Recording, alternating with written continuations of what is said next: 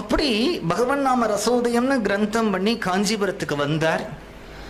அதுக்குள்ள விஸ்வாதிகேந்திர சரஸ்வதி சுவாமிகள் காஷி யாத்திரையை முடிச்சுட்டு வந்தார். பெரிய வித்வான்கள்லாம் கூப்பிட்டா. கூப்பிட்டு இந்த கிரந்தங்கள்லாம் கொடுத்து எல்லாரும் ஆச்சரியப்பட்டு ஏன்னா வித்வான்கள் முன்னாடி இந்த கிரந்தத்தை கொடுத்து இந்த இடத்துல இது தப்பு இது சரி குணதோஷம் சொல்லணும். அவர்கள் எல்லாம் கேள்வி கேட்கணும். அதுக்கு மேல பதில் சொன்னாதான் கிரந்தத்தை ஏத்துப்பா பல நாட்கள் வாத பிரதிவாதங்கள் நடந்து பகவன் நாம போதேந்திர சுவாமிகள் பேசினதுக்கு மேலே யாராலையும் பேச முடியாதுங்கிறதுனால அதற்கு முன்னாடி பழக்கத்தில் இருந்த அத்வைத சித்தாந்தம் துவைத சித்தாந்தம் விசிஷ்டாத்வைத சித்தாந்தம் போன்ற சித்தாந்தங்களோட நாம சித்தாந்தம் பகவன் நாமா மோக்ஷம் தரும். ஆனால் போதேந்திரால் சித்தாந்தம் பண்ணும் பொழுது ராமநாமம் சிவநாமம் ரெண்டுத்தையும் சேர்த்து தான் சித்தாந்தம் பண்ணியிருக்கார். ஜெகதீஸ்வரனுடைய நாமம் அப்படின்னு பொதுவாக சொல்கிறார் இது குப்பன் சுப்பன் யாருடைய ஒருத்தனுடைய பேர் இல்லை இது பகவானுடைய பேர். இந்த பகவானுடைய பேரை இந்த சொல்லிண்டே வரும்பொழுது அவர் சொல்றார் நாமத்துக்கும் நாமிக்கும் வித்தியாசமே இல்லை. அதுல ஒரு கேள்வி கேட்கிறார். இப்ப நம்ம அருணாச்சலேஸ்வரர் கோவில்ல போய் அந்த அருணாச்சல லிங்கத்தை பார்த்து அதுக்கு அபிஷேகம் பண்ணுறோம் அதுக்கு புஷ்பமாலை போடுறோம் அதுக்கு அர்ச்சனை பண்ணுறோம் நீ தான் என்னை காப்பாற்றணும்னு வேண்டுறோம் இல்லையா? அந்த அர்ச்சாவதாரத்தில் பகவானுடைய சக்தி இருக்குங்கிறதுனால தானே அவ்வளவு பூஜை பண்ணுறோம் போதேந்திரால் சொல்கிறார் ராமானு அக்ஷரம் இருக்கே அதுலேயே அவ்வளவு சக்தி இருக்குது அப்படிங்கிறார். அந்த நாமத்திலேயே இருக்குது நீ கோவிலுக்கு தேடின்னு போக வேண்டிய அவசியம் இல்லை. நீ கிருஷ்ணான்னு ஒரு தரம் சொன்னியானால் நாம் ராமான்னு ஒரு தரம் சொன்னியானால் பகவான் கலியுகத்திலே பரம கிருப்பையோட தன்னுடைய நாமத்திலே தன்னுடைய முழு சக்தியை ஒழிச்சு வச்சிருக்கான் அப்படின்னு சொல்றார். அந்த நாமம் அப்படி பண்ணணும்னு சொல்றார்.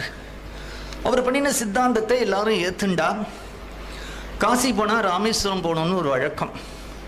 ரெண்டு பேருமா ராமேஸ்வரம் போனா திரும்பி வரும்போது தான் இப்போ இந்த வடவாம்பலம்னு ஊரோட சரித்திரம் சொன்னேனே அங்கே விஸ்வாதிகேந்திர சரஸ்வதிகள் சித்தி ஆயிட்டார் போதேந்திரால் அந்த ஊரில் ஒரு வருஷம் தங்கியிருக்கார்.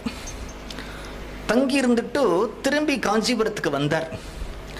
அவருக்கு ஊர் ஊரா போய் பாகவதம் சொல்லி பகவன் நாம பிரச்சாரம் பண்ணணுங்கிற ஒரு ஆசை இருந்ததுனால எப்படி பெரிய பிரிவா புது பிரிவாள்கிட்ட கொடுத்துட்டு அவர் சுதந்திரமா கிளம்பினாரோ அதற்கு அடுத்ததான் ஒரு பீடாதிபதியை ஏற்படுத்தி பீடத்தை கொடுத்துட்டு இவர் பரிவிராஜக சந்நியாசியா கிளம்பினார்.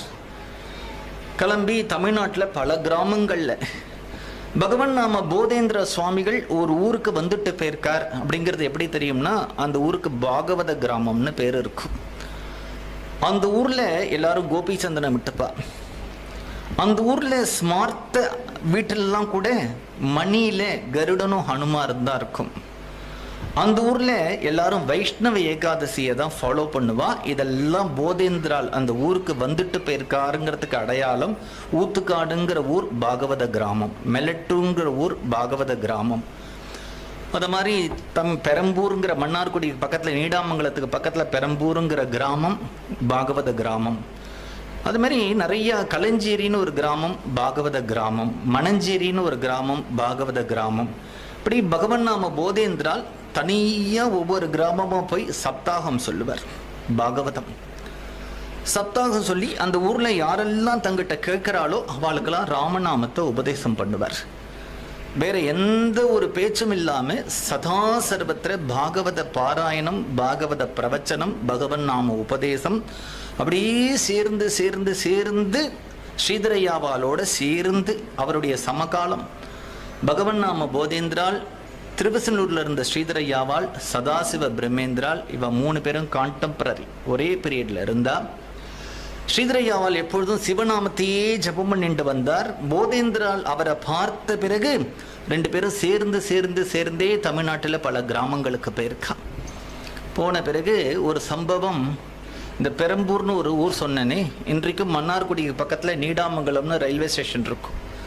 அங்கே இறம்பி கொஞ்சம் தூரம் போனால் பெரம்பூர்னு ஒரு கிராமம் இருக்குது ரொம்ப அமைதியான ஒரு கிராமம் நிறையா காவேரி ஓடக்கூடிய ஒரு கிராமம். அந்த கிராமத்திலே பகவன் நாம போதேந்திர சுவாமிகள் சில காலம் தங்கியிருக்கார். அந்த சுவாமிகள் தங்கியிருக்கும் பொழுதுதான் சில கிரந்தங்கள் அங்கே எழுதினார் அப்படின்னு சொல்கிறா அப்போ சில பேர் பார்க்குறா நம்ம ஊரில் ஒரு சுவாமிகள் வந்து தங்கியிருக்காரே. அவரை நம்ம வீட்டுக்கு பிக்ஷைக்கு கூப்பிட வேண்டாமா? சன்னியாசியை பார்த்தா அது அவரை வந்து அத்வைத சன்னியாசியா விசிஷ்டாத்வைத சன்னியாசியா துவைத சன்னியாசி எல்லாம் விசாரம் பார்க்கக்கூடாது. எப்ப தண்ட கமண்டல காஷா காஷாயத்தை பார்த்துட்டா உடனே நமஸ்காரம் பண்ணு அப்படின்னு சாஸ்திரம் சொல்றது. பிக்ஷ கொடு. பிக்ஷைக்கு கூப்பிடு. அதனால அதை பார்த்த உடனே அந்த ஊர்ல இருந்த ஒருத்தர் வந்து அவரை பார்த்து கூப்பிடுறார். எங்க ஊ- எங்க வீட்டுக்கு நீங்க பிக்ஷைக்கு வரணும் அப்படின்னு கூப்பிடுறார். போதேந்திர சுவாமிகள் சொல்றார் நான் யார் வீட்லயாவது வந்து பிக்ஷைக்கு சாப்பிடணும்னா அதுக்கு ஒரு ரூல் இருக்கு நியமம் இருக்கு அப்படிங்கிறார். என்ன நியமம் அப்படின்னா நான் ராமநாமம் சொல்லாதவா சமையல் பண்ணி நான் சாப்பிட மாட்டேன். ராமநாமம் சொல்லாதவர் வீட்டுக்கு நான் வரமாட்டேன். நான் உங்கள் வீட்டில் வந்து பிக்ஷை எடுத்துக்கணும்னு நீ ஆசைப்பட்டா எங்கிட்டேருந்து ராமநாம உபதேசம் வாங்கிக்கோ ஜபம் பண்ணு சமையல் பண்ணு நான் வரேன். இது என்ன கசக்கிறதா? அவருடைய வாக்கிலேயே உபதேசம் பண்ணினார் நாமசூத்திரம் கொடுத்தார் இன்றைக்கு பிக்ஷைக்கு வரேன் அப்படின்னு அவர் வீட்டில் சொல்லிட்டார். அந்த காலத்தில் ஒரு சன்னியாசி பிக்ஷைக்கு வரதா இருந்தா ரொம்ப தடபடலாக இருக்கும். வாசலில் ஒரு மாவள தோரணங்கள்லாம் கட்டியிருக்கா வாழை மரம் கட்டியிருக்கா ஒரு செம்மனிட்டு கோலம் போட்டிருக்கான் ஒரு பூர்ண கும்பங்கள்லாம் ரெடியாக வச்சுட்டு இருக்கா கார்த்தால அவர் சன்னியாசி வரப்போறார் வரப்போறாருங்கிற பிக்ஷைக்காக எல்லா ஏற்பாடுகளும் பண்ணி அந்த வீட்டில் ஒரு குட்டி குழந்தை இருக்கு. அந்த குழந்தை காத்தால பசிக்கும் இல்லையா? ஏதாவது கவனிக்கணுமா அந்த குழந்தை இந்த ஒரு கலேபரத்துல அப்பேற்பட்ட ஒருத்தர் வரப்போறார் வரப்போறாருங்கிற ஒரு கலேபரத்துல அந்த குழந்தை எல்லாரும் மறந்து போயிட்டான். கர்த்தால ஒரு கஞ்சி கொடுத்துருக்கலாம் ஏதாவது அந்த குழந்தைக்கு ஒரு டிஃபன் போட்டிருக்கலாம் ஒன்றும் மறந்து போயிடுது. அந்த குழந்தை பாட்டுக்கு பேசாமல் ஒரு மூலையில் உட்காந்துட்டுருக்கு இவர் கார்த்தால காவேரியில் ஸ்நானம் பண்ணினார் அவரோட அனுஷ்டானம் எல்லாம் முடிஞ்சது. அன்றன்றைக்கு எவ்வளவு ஜபம் பண்ணுவாரோ அந்த ஜபங்கள்லாம் முடிச்சுட்டு அவர் பிக்ஷைக்கு வரார். அவர் வாசல்ல வந்த உடனே ஒரு பூர்ண கும்பம் கொடுத்து அவரை கூப்பிட்டுண்டு வரா.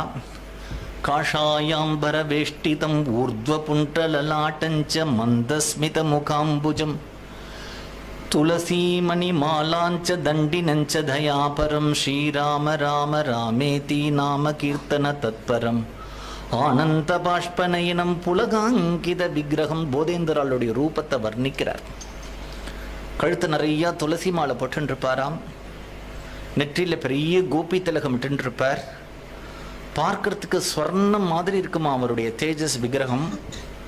கையில் ஒரு தண்ட கமண்டலங்கள் எடுத்துட்டு ஒரு மத கஜம் ஒரு மதம் பிடிச்ச யானை நடக்கிற மாதிரி அசைஞ்சு அசைஞ்சு நடந்துட்டு வரார். வாக்கு எப்பொழுதுமே கையில் ராம ராம ராம ராம ராம ராம ராமன்னு ஜபம் பண்ணிகிட்டே இருக்கார் வாசல்ல வரார். பூர்ணகுமம் கொடுத்து உள்ளே அழிச்சுட்டு போனால் அவருக்கு ஒரு மனையை போட்டு அவருக்கு இலையை போட்டு சாதங்கள்லாம் போட்டுருக்கா பீடாதிபதியாக அவர் இருந்தார்னா அவருக்கு நிறைய ரூல்ஸ் அண்ட் ரெஸ்ட்ரிக்ஷன்ஸ் எல்லாம் இருக்கு. ஒரு புரோட்டோகால் இருக்கு. அவெல்லாம் யாராவது பத்து பேர் பார்க்குற மாதிரிலாம் சாப்பிட மாட்டா.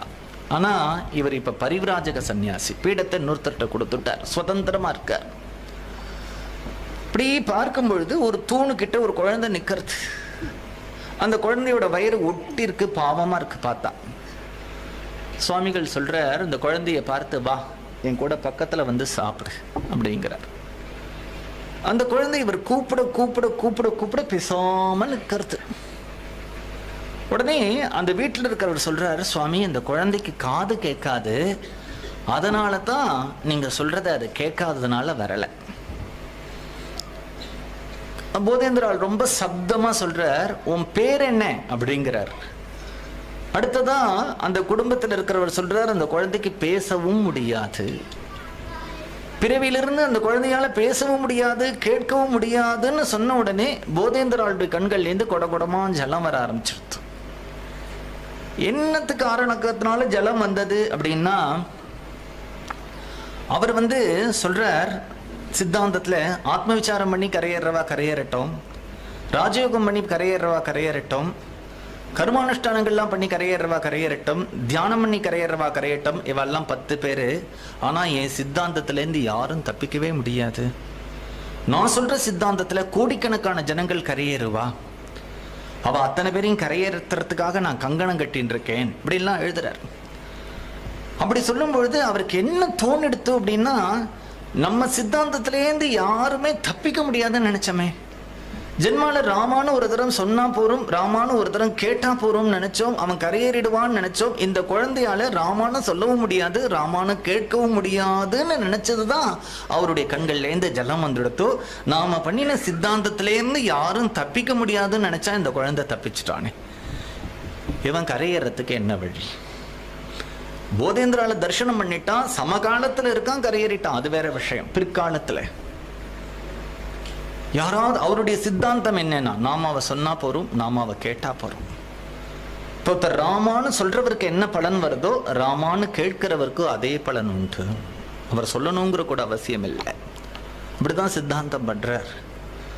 நான் பண்ணின சித்தாந்தத்திலிருந்து இந்த குழந்தை தப்பிச்சுடுமே அப்படின்னு ஒரு எண்ணம் வரும்பொழுது கண்கள்லேந்து ஜலம் வந்த உடனே அந்த வீட்டில் இருக்கிறவாள்லாம் அழ ஆரம்பிச்சிட்டான். ஒரு சன்னியாசி ஒரு மகாத்மா நம்ம குடும்பத்தில் வந்து அழுதா அந்த குடும்பத்துக்கே ஆகாதுன்னு அவள் பயப்படுறா. அவர்கிட்ட போய் சொல்கிறான் சுவாமி நாங்கள் என்ன பாப்பம் பண்ணினோமோ அவன் என்ன போன ஜென்மத்தில் பாப்பம் பண்ணினானோ அவன் ஏதோ பாப்பம் பண்ணியிருக்கான்னு அதனால இப்படி பேச முடியாமல் பா- கே- கேட்க முடியாமல் வந்து பிறந்திருக்கான். எங்களுக்கு ஏதோ ஒரு பாப்பம் இருக்குது இந்த குழந்தைய வச்சுட்டு அனுபவிக்கணும்னு நீங்கள் எதுக்கு வந்து அழறேல் நீங்கள் அழக்கூடாது நீங்கள் அழாமல் சாப்பிட்டுட்டு போங்கோ அப்படிங்கிறான். ஏதோ பேருக்கு மூணு வா அப்படி பிக்ஷை எடுத்து வாயில் போட்டுண்டார். ரொம்ப தூரம் கொண்டு விடக்கூடாது சன்னியாசியை அதனால வாசல்ல அவர் இப்படி காஷாயம் மறையிற வரைக்கும் எல்லாம் வாசல்ல நின்னுண்டு பகவன் நாம நாமம் சொல்லிட்டு இருக்கா இந்த குழந்தை என்ன பண்ணித்துனா கார்த்தாலேருந்து இந்த குழந்தைக்கு ஒன்றும் ஆகாரம் படலையா? நல்ல பசி. யாரும் வீட்டில் இல்லை எல்லாம் வாசலுக்கு போயிட்டா. இது சாப்பிடலாமா? சாப்பிடக்கூடாதான்னு தெரியாது. இருந்தால் யாராவது பெரியவா அடித்தாலும் அடிப்பா. யாரும் இல்லைங்கிறதுனால பசினால அந்த போதேந்திரால் சாப்பிட்ட இலையில ஏதோ ஒன்று அன்னமோ வடையோ பாயசமோ என்னவோ இருந்தது அந்த குழந்தை எடுத்து வாயில போட்டுண்டது வாயில போட்டுண்டு அவர்கள்லாம் வாசல்ல போதேந்திரால பார்த்துட்டு இருக்கா இல்லையா? இந்த குழந்தை கிருஷ்ணா ராமா கோவிந்தா ஹரே ராமகிருஷ்ணா கோவிந்தா நந்த நந்தன கோவிந்தா ஹரே. ராமகிருஷ்ணா கோவிந்தான்னு உள்ளேந்து ஒரு பஜனை சப்தம் கேட்கறது. எல்லாரும் வாசல்ல இருக்கும் சுவாமிகளும் போயிட்டார். உள்ள யார் பஜனை பண்றான்னா இந்த குழந்தை கையை தூக்கிண்டு தன்னை மறந்து பஜனை பண்றான். கண்கள்லேந்து ஆனந்த பாஷ்பம் ஏற்படுறது மேனி சிலிர்க்கிறது. ஆச்சரியப்படுறான். பகவன் நாம போதேந்திரனுடைய உச்சிஷ்டத்தை சாப்பிட்டுட்டு அந்த குழந்தைக்கு பேச்சு வந்ததுன்னு சொல்லுவா. பேச்சு வரல. திவ்ய ஞானம் அவாப்பியச்சை உச்சிஷ்டான்னம் மகாபுண்ணியம் பக்ஷயாமாச சாதரம். அந்த குழந்தைக்கு அது மகான்களுடைய பிரசாதம்னு தெரியாது. பயத்து பசி ஏதோ இங்க இருக்கு சாப்பிட்டது. ஆனா இந்த குழந்தை தெரியாம சாப்பிட்டா கூட அது என்ன வேலையை பண்ணணுமோ பண்ணிடுத்து. அந்த குழந்தைக்கு பேச்சு வரல. ஒரு ஊமை பாலகன் பேசினான். அதுல ஒன்றும் அதிசயம் இல்லை. அந்த குழந்தை காக்கா குருவின்னு சொல்லியிருந்தா. அந்த குழந்தைக்கு திவ்ய ஞானம் அவாப்பிச்ச பகவன் நாம மட்டும் வாக்கில் வரல. ஒரு பிரேம பக்தனுடைய உடம்புல எத்தகைய பாவ லட்சணங்கள்லாம் காணப்படுமோ அத்தனையும் அந்த குழந்தைக்கு ஞானமும் வந்துடுத்து பக்தியும் வந்துடுத்து. ஆச்சரியப்படுறான். அந்த குழந்தை அவரை போய் சேவிக்கிறான்.